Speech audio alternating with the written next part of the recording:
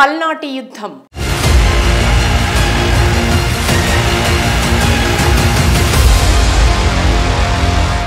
ప్రస్తుతం తెలుగు రాష్ట్రాల్లో ఎక్కడ చూసినా పల్నాడు పేరు సంచలనంగా వినిపిస్తోంది. తీవ్రమైన హింసాత్మక ప్రాంతంగా మారిపోయింది.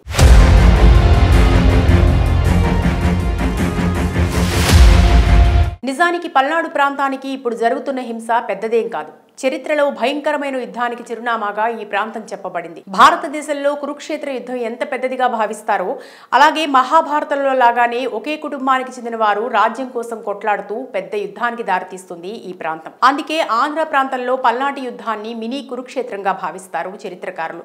ఇక్కడి నుండే బ్రహ్మనాయుడు నాగమ్మలు ప్రాచుర్యంలోకి వచ్చారు. దాదాపు తొమ్మిది వందల సంవత్సరాల క్రితం ఈ యుద్ధం పల్నాడు ప్రాంతంలో పదకొండు వందల ఎనభై రెండవ సంవత్సరంలో జరిగింది. ఆంధ్రదేశంలో రాజకీయ సాంఘిక మత మార్పులకు దోహదం చేసి తీరాంధ్రలోని రాజవంశాలన్నింటినీ బలహీనపరిచి కాకతీయ సామ్రాజ్య విస్తరణకు మార్గం సుగమం చేసింది. ఒకసారి చరిత్ర చూస్తే మొదట పల్నాడు ప్రాంతం అంటే ఇప్పుడు చెప్తున్న గుంటూరు మాచర్ల వినుకొండ గురజాల సత్తెనపల్లి పిడుగురాళ్ళ నడికుడి లాంటి చాలా చోట్లు ఆ కాలంలో వెలవనాటి చోడుల సామంతులైన హైహయ వంశస్థులు యాదవుల ఆధీనంలో ఉండేవి. పలనాటి పరిపాలకుడు అనుగురాజు వెలమనాటి గుంకరాజు కుమార్తె అయిన మైలాంబను వివాహం చేసుకుని తన హోదాని పెంచుకున్నాడు. వారిద్దరికీ నలకామ నలగామ అనే ఇద్దరు కొడుకులు పుట్టారు. మరో ఇద్దరు భార్యలు వీర విద్యాదేవి భూరమదేవి కూడా ఉంటారు.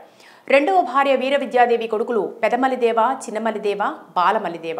మూడవ భార్య భూరమాదేవి కొడుకులు కామరాజు నరసింగరాజు జత్తిరాజు పెరుమాళ్ళరాజు అంతఃపుర కుటుంబ కలహాలతో అనుగురాజుకి పరిస్థితి దుర్భరంగా మారింది. ఆఖరికి అనుగురాజు హత్య చేయబడ్డాడు. అతడి మరణం తర్వాత క్రీస్తు శకం పదకొండు వందల డెబ్బైలో పెద్దభార్య కుమారుడు నలగామ పల్నాడు పాలకుడయ్యాడు. కానీ అతడు తన మంత్రి అయిన రేచర్ల బ్రహ్మనాయుడు చేతిలో కీలుబొమ్మయ్యాడు. రేచర్ల బ్రహ్మనాయుడు వెలమకులోస్తుడు ఆనాడు ఆంధ్రదేశంలో వీర వైష్ణవ వీరశైవ మతాలు ప్రాచుర్యం పొందుతున్నాయి. బ్రహ్మనాయుడు వీర వైష్ణవ మతావలంబి వర్గాలకు చెందినవాడు. ఆ మతాన్ని అనుసరించి వేరువేరు కులాల మధ్య భేదాలు తొలగించి సహపంక్తి భోజనాలు దళితులకు ఆలయ ప్రవేశం చేయించడం మొదలైన సామాజిక సంస్కరణలు చేపట్టాడు. కానీ రాజు నలగామకు ఇవన్నీ నచ్చలేదు. అతడు తమ హయహయ వంశీకులందరిలాగా గొప్ప శివభక్తుడు. ఈలోగా బ్రహ్మనాయుడు నలగామ సవతి సోదరులను మంచి చేసుకున్నాడు. నలగామకి నచ్చచెప్పి పెదమల్లిదేవకు చిన్న సంస్థానం వంటిది ఇప్పించాడు. తర్వాత బ్రహ్మనాయుడి సహాయంతో ఆ చిన్న రాజ్యం బాగా అభివృద్ధి చేసి మాచర్ల రాజధానిగా చేసుకున్నాడు. ఈలోగా నలగామరాజు దగ్గర నాగమ్మ అనే రెడ్డి కులానికి చెందిన స్త్రీ నాయకురాలుగా చేరింది. ఆమె శివభక్తురాలు. మాచర్ల అభివృద్ధి చెందడం చూసి అది చేజిక్కించుకోవడానికి నలగామ నాగమ్మలు పథకం ప్రకారం పెదమలి దేవుడిని కోడి పందాలుగా ఆహ్వానించారు. పందెల్లో తన రాజ్యం ఓడిపోయాడు పెదమల్లి దేవుడు. అందువల్ల ఏడు సంవత్సరాల రాజ్యం విడిచిపెట్టి ఏడు సంవత్సరాలు అయ్యాక బ్రహ్మనాయుడు రాజైన పెదమల్లి దేవుడికి రాజ్యం తిరిగి ఇవ్వాలని కోరాడు. కానీ నలగామ అందుకు ఒప్పుకోలేదు. ఈ కారణాల వల్ల సవతి సోదరుల మధ్య యుద్ధం మొదలైంది.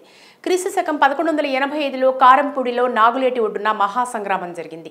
నలకామ పిలుపుకి స్పందించి కాకతీయులు హొయసల కోట కాలచూరి వేలనాటి చోడులు యుద్ధంలో పాల్గొన్నారు. మూడు రోజుల్లో ముగిసిన యుద్ధంలో పెదమల్లి దేవుడి పక్షం ఓడిపోయింది. తన వారందరూ మరణించడంతో విరక్తి చెందిన బ్రహ్మనాయుడు పల్నాడుని శాశ్వతంగా విడిచిపెట్టి తీర్థయాత్రలకు వెళ్ళిపోయాడు ఈ యుద్ధం వెలమనాటి చోళ్ళకు తమ సామంతులపై నియంత్రణ కోల్పోయారని లోకానికి వెల్లడైంది. ఈ బలహీనత గ్రహించిన కాకతీయులు పన్నెండవ శతాబ్దం చివరికల్లా కోస్తాంధ్ర ప్రాంతాన్ని కాకతీయ రాజ్యంలో భాగం చేసుకున్నారు. ఈ యుద్ధంలో గెలిచిన ఓడిన పక్షాల నాయకులు ఆంధ్ర నాయకులు కాకతీయ రాజ్యానికి వలసపోయి కాకతీయ సైన్యంలో నాయకులుగా ప్రసిద్ధి చెందారని చరిత్రకారుల కథనం. మరి చరిత్రలో ఓడిపోయిన బ్రహ్మనాయుడు పేరు అంత గొప్పగా ఎందుకు మారింది అనే సందేహం అందరికీ వస్తుంది. ఆ కాలానికే కులమతాలను పక్కన పెట్టి అందరినీ సమానంగా చూడటం మొదలుపెట్టిన వాడు బ్రహ్మనాయుడు. ఆయన్ని ఒక సంఘ సంస్కర్తగా మానవతో ఉన్న మహనీయుడిగా అక్కడి ప్రజలు భావిస్తూ ఉంటారు. ఇక పలనాటి నాగమ్మ గురించి చెప్పాలంటే ప్రపంచంలోనే తొలి మహిళా మంత్రి. వితంతువైన స్వయం శక్తితో అత్యున్నత స్థాయికి ఎదిగిన ధీరోధాత్త వనిత.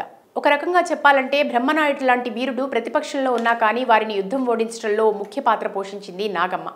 ఆమె కత్తిసాము గుర్రపు స్వారీ చేటల్లో దిట్ట. దాచేపల్లిలో ఆమె విగ్రహం కూడా ఉంది. గామాలపాడులో ఆమె శివాలయం నిర్మించింది. గురజాలలో దూబ చెరువు తవ్వించింది. పలు వాగులపై వంతెనలు నిర్మించింది. ఈ రకంగా పౌరుషాలకు గాని యుద్ధాలకు గాని ఎంతో ఘన చరిత్ర పల్నాడు ప్రాంతానికి ఉందని చెప్పొచ్చు.